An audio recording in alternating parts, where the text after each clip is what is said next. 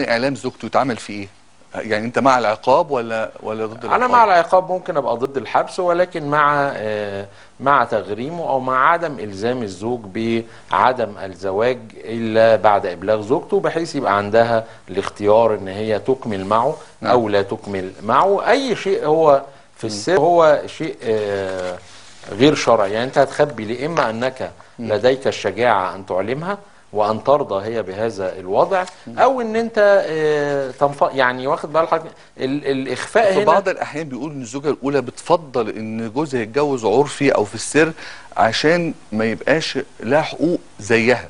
يعني يفضل الزوج طول الوقت حاسس إنه بيعمل حاجة غلط فيحاول إن هو يعني يدلعها شوية ي... لا يرجع لصوابه. طبعا إحنا يعني أكتر ما حدث في المجتمع المصري خلال ال ال 40 سنة الأخيرة هو العودة لتقاليد الجواري ولزمن الجواري ولزمن البيع والشراء. يعني هنا دي آه، زوجة هي ترضى بأن تكون منتقصة الحقوق ولكن لا تعلم. آه، يعني حضرتك فاهمني؟ هي آه، وده نوع من أنواع آه، خداع النفس أو نوع من أنواع الشراكة الاقتصادية. ربما هذه الزوجة تريد الاستفادة الاقتصادية من زوجها ولكنها بكل تأكيد لا تعتد بكرامتها الإنسانية ولا تعتد بمعنى الزواج نفسه كمؤسسة مبنية إحنا حضرتك بنتجوز عشان نربي أبناء صالحين وعشان آه، نساعد بعض في رحلة الحياة وعشان نكون سكن لبعض بس حلال برضو يعني ال- التعدد حلال و... أنا والفكرة- ما أنا لا أفتي آه. في الحلال لا والحرام يعني فكرة إن أنا- هي يعني هي بتقول لي إيه يعني هو لو اتجوز ده بيهدد استقرار الأسرة نفسها هي فكرة بس إن هي تعرف أو ما تعرفش ده أنا أنا حضرتك. شايف إن من حقها ان تعرف تعرف. وبالتالي بقول لحضرتك رايي برضو في هذا ال- بس ما. يتحبس الراجل ما يتحبس أنا أنا لا أرجح الحبس في قضية أحوال شخصية إنما ربما يغرم وربما طب الفلوس دي تروح لمين بقى؟ يعني لا ده موضوع 50,000 يحدده المشرع يعني ده آه، موضوع يعني هو يعني 50000 المفروض بقى لا أعتقد فلوس. الغرامات بتوجه لصناديق لا توجه يعني يعني مش هتروح للضحية. للزوجة الأولى. أنا لا أعتقد يعني أنا مش قانوني ولكن لا أعتقد وبالتالي أنا ضد فكرة أنا ضد مع نشر الوعي مع تعليم السيدات على الاحتفاظ بكرامتهم.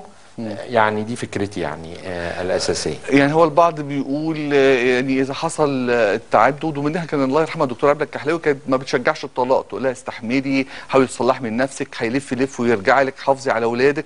وفي رأي تاني بيقول لك لا يعني لو حصل ده لا اتطلقي وبالذات خلي لو عندك قدرة برضو إن مادية. إحنا بندور في نطاق آه، طبقة اجتماعية مثيرة اللي هي الزوج يقدر يتعدد وبتاع.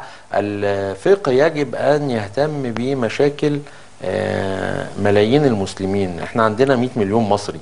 فنقعد إن إحنا آه، عشان في الفضائيات وبتاع وبناخد فبنتكلم في قضية آه، بالكتير يعني 2 3 مليون هم اللي يقدروا يتعددوا وبتاع. دي يعني هو شوف بس في كتير بيعددهم. مش بس الممثلين بنلاقي برضو ناس مش لاقية أنا مش رجل. أنا مش رجل دين. انما أقدر أقول إن أنا دارس المجتمع آه. والتعدد آه، دخل لمصر وعاد إلى مصر عاد إلى مصر آه، مع انتشار السلفية ومع انتشار الوهابية وابتدى يتقال إن دي سنة وابتدى يتم الترويج لثقافة التعدد وابتدى يبقى في صفحات سلفية بتدعو للتعدد. ما تعرفش إيه المصلحة يعني نعم. كانهم هياخدوا فلوس يعني لما يحصل آه تعدد. وابتدى يبقى في مبررات آه بعضها بيحاول آه أصل الستات أكتر من الرجالة أصل أنا بقول لحضرتك وجهة نظري آه الاجتماعية المبنية على اطلاع على ثقافات مختلفة آه اللي هو عدم عدم التعدد أنا يعني. رجل طيب. مسلم آه. طيب. آه, آه أنا شايف إن التعدد انتقاص من كرامة المرأة وعدم مساواة بين المرأة والرجل نعم طب أنا